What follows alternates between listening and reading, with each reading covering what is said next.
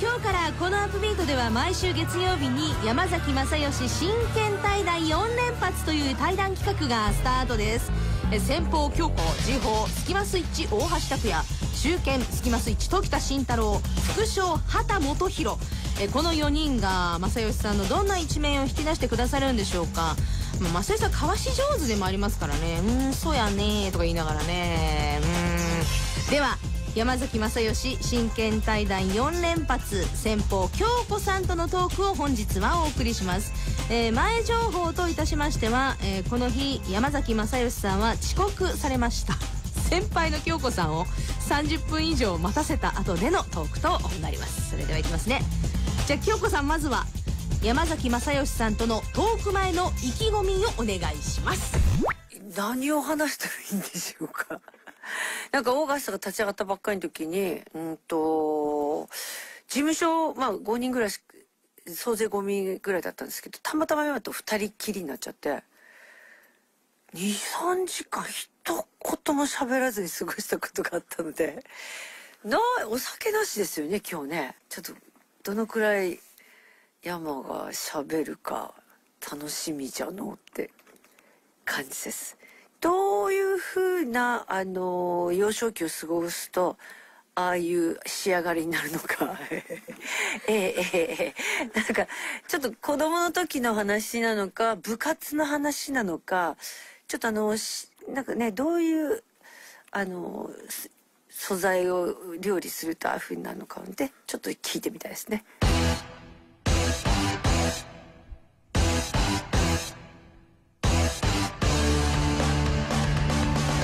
山崎正義真剣対談。4連発。先方京子。今日はですね、えーはい。山ちゃんとガチ対談ということなんですけども。やめてほしいね。え ちょっと待って。え？ちょっと待ってよ。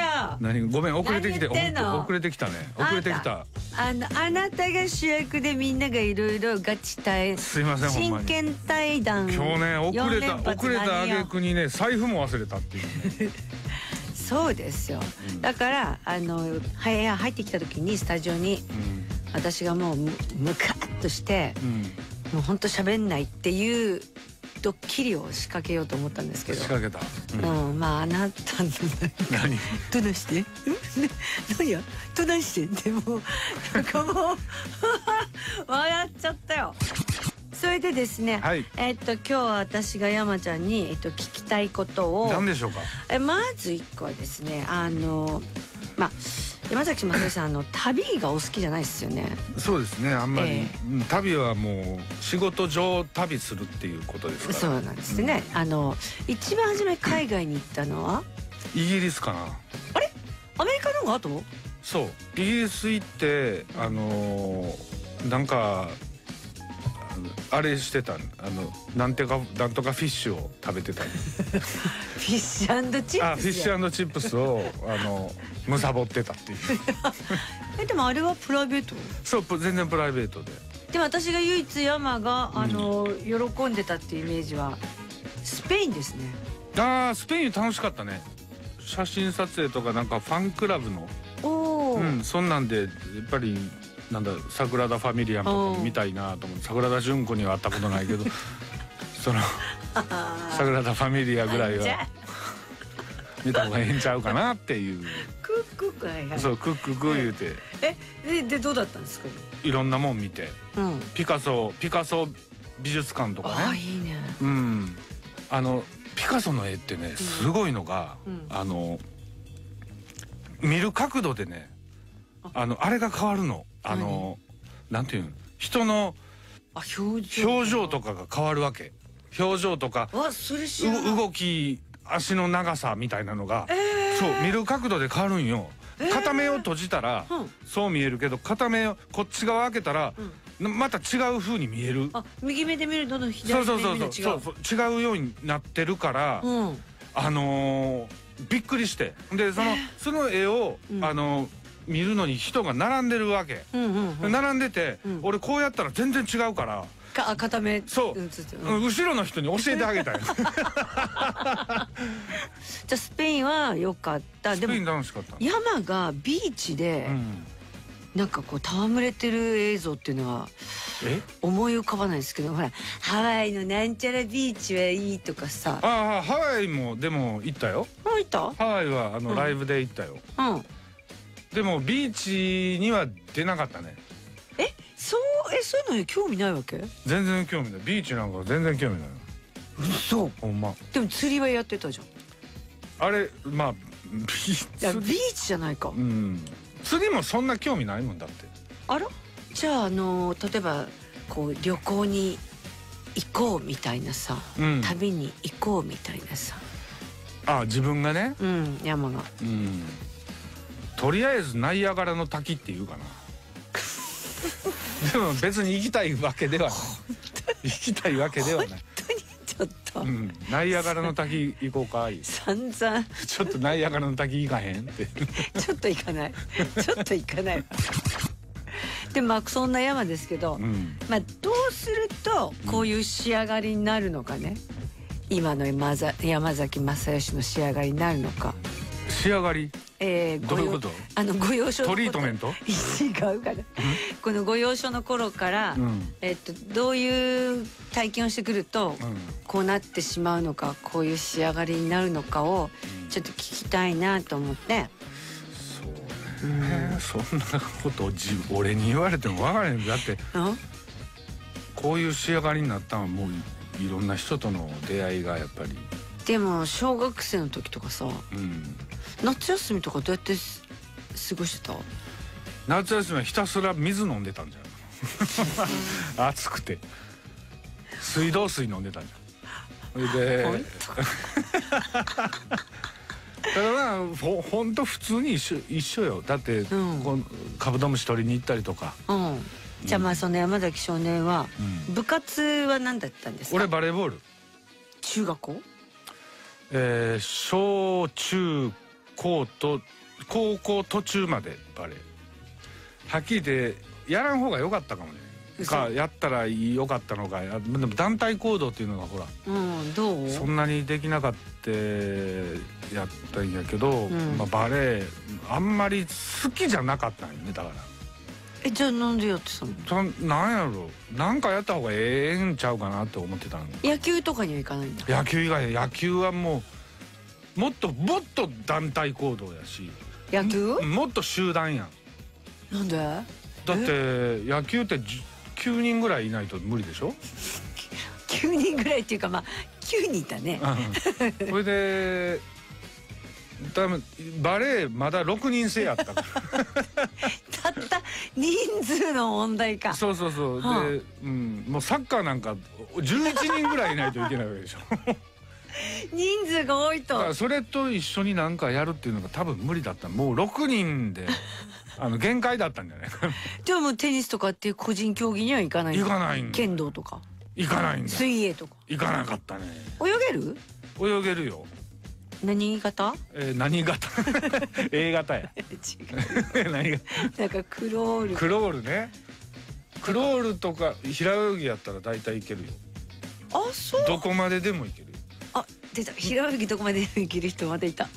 うん、平泳ぎやったら多分向こうの島まで行ける。どこの島だよ 漠然としすぎて。てあのー、あったんよ。あのー、遠遠泳っていうのが。ほう。あのー瀬戸内やったから。え瀬戸内？瀬戸内豊富豊富山口県の瀬戸内なんで遠泳っていうのが授業で？いや小学校の時にさ、まあ、自由参加っていうか2位やけど、うん。でこう泳泳ぐっていうの。で3キロ。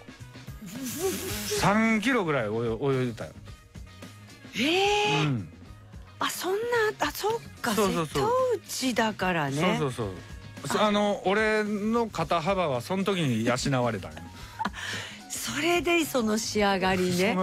肩幅のあねそうそうそう。音楽ってえ？いつから？音楽は、うん。えーバンドやったのは中3かな。早いね。うんドラム叩き出したのも中学校の時で、うん。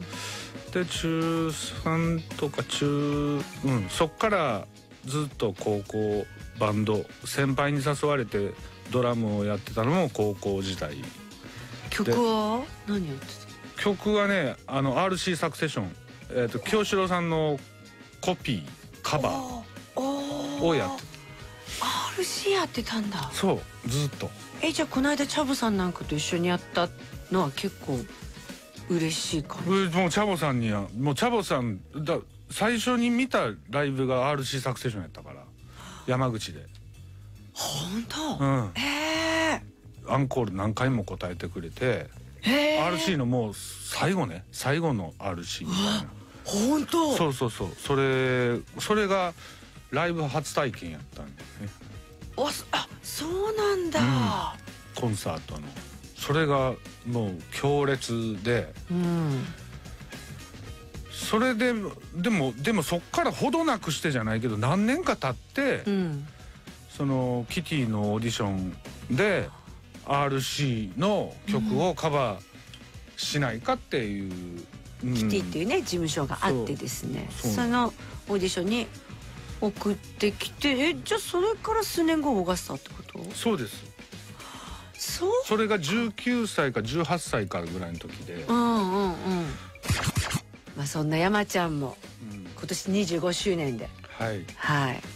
それこそトンネルズじゃないけど皆さんのおかげですよ、うーん。こうなんかやっぱり一人のソロソロアーティストというかソロの、ソロでやるのに、うん、絶対一人でなんかやってきたわけではうん。ないっていうのは、まあ、20年目ぐらいで思うしね、うんうん。そう。であそれでまあ5年25年でしょ、でうん。この先ももしやったらやっぱりこうし支持していただいたりうんうんなんかそう仕事仕事くれたりじゃないけどそうし、うん。やっぱそうやと思うんやけどな。ー長いこと任期をこう 任期をこう25年もこう任期を保つには。保つんやったら支持者やっぱり支持者を 支持者でしょそれは。でも本当こうやってこうねトップラインというかこうグッと突っ走って25年すごいよね。いやいやそんな。千。なんなん酔っ払ってるだけですよ。いやまあでもあそうで最後に山にあの言いたいことをあの言ってくださいってなってるんですけど。なんでしょう？あのいや言おうと思ってうん。言いたいけどまだ言えないことを一つって言ったんですけど、うん。本当はなんか「山ありがとう。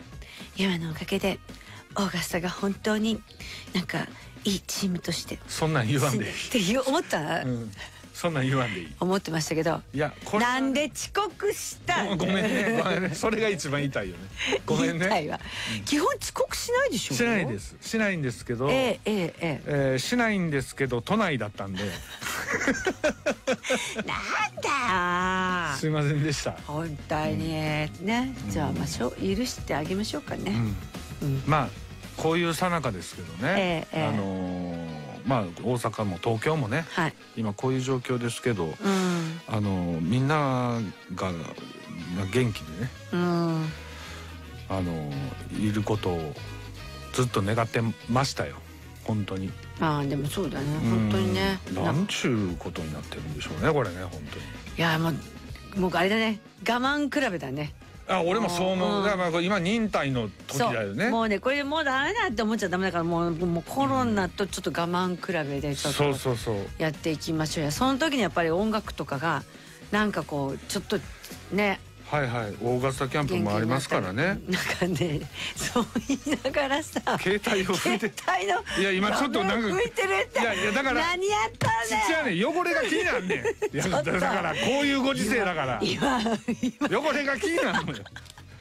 今めっちゃいい話で落ち着いたと思ったら「そうね」っつって携帯 の画面ないわもう。じゃあそんなえこういう山崎さんでございます。ありがとうございえー、京子ウィズ京子でした。どうもありがとうございました。ありがとうございました